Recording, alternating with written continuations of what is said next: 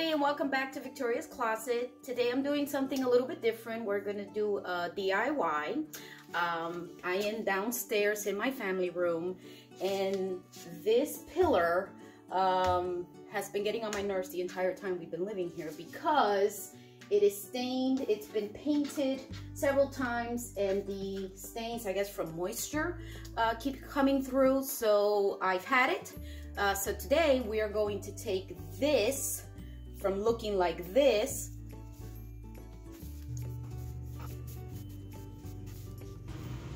to this.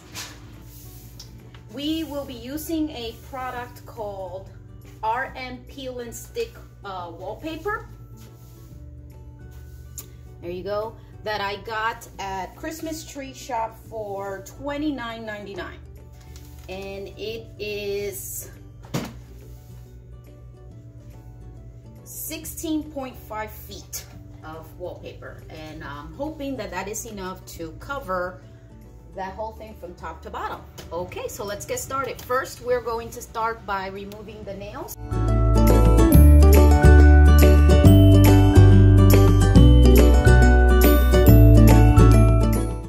Tape measure, level, straight edge, razor knife, and plastic smoother.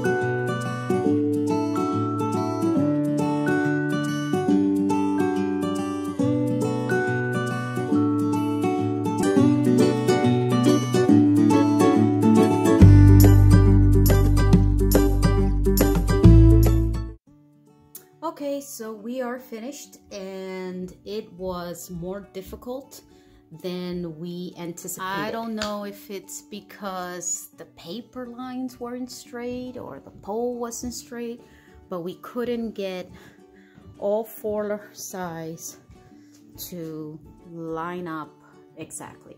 So this side of the pole wrapped all the way around this side of the pole and wrapped all the way around this side of the pole. But when we got to the back side, that's where we ran into the most trouble.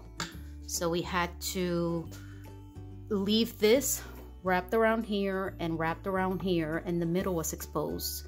So then we thought we would take a piece and trim it and just stick it right down the middle. But for some reason, every time we started to stick it down, it would either run off the edge this way or run off the edge this way.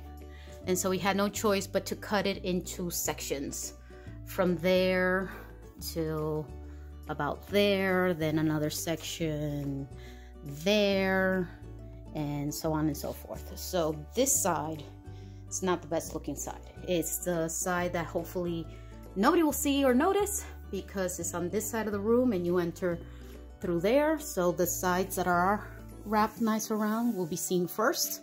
Um, and maybe your eye is fooled enough by the pattern that you don't even notice it, um, even if you are looking for it.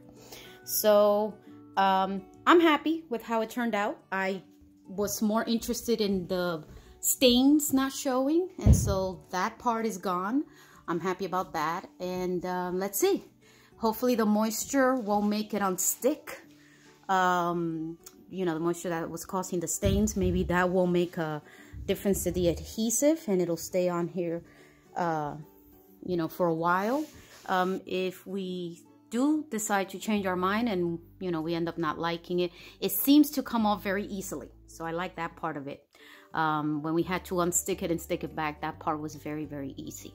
So overall, um, I recommend this product if you guys have a small area uh, to work with, maybe, um, you know, a, a, an accent wall um, in, in a room or a kitchen or something like this.